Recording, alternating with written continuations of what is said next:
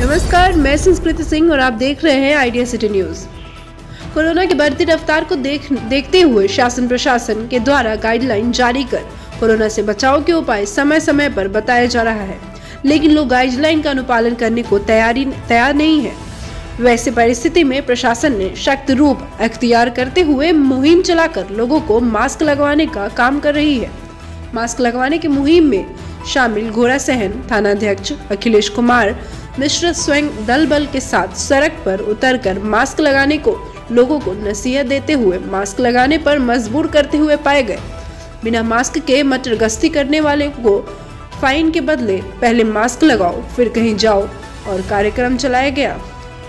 इस कार्यक्रम के माध्यम से लोगों को कोरोना बीमारी के प्रति जागरूक करने का काम किया गया। Online admission is going on अपने बच्चों के नामांकन हेतु लॉग इन करें W W dot R P S Bihar Sharif dot com